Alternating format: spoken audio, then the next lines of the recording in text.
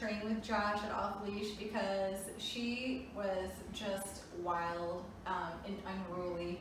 She didn't have good manners. People would come to her at my house to visit and she would just maul them and I didn't really know the right way to train her. So I um, heard about Off Leash from another friend of mine who used them and called Josh and set up training and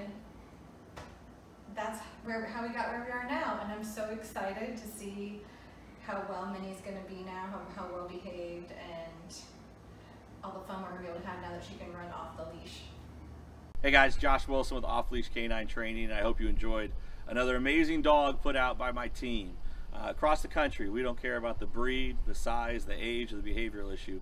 We're going to make them awesome for you. If you're interested in seeing more videos like the one you just saw, click the image here on the screen. Also, I'd encourage you to check us out on Instagram and Facebook.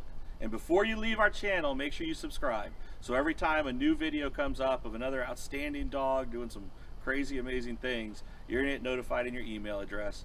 And for more information on other locations we have around the country, check us out at joshwilson.dog.